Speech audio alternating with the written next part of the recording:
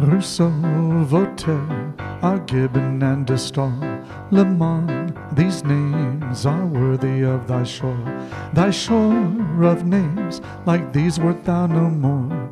Their memory thy remembrance would recall.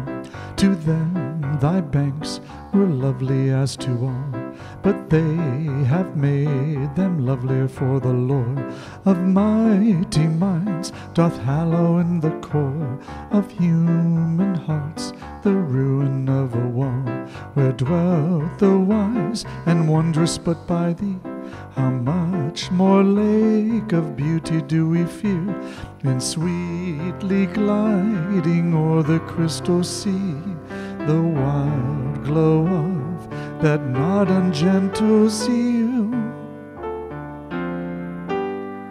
which the heirs of immortality is proud and makes the breath of glory real. Is proud and makes the breath of glory real.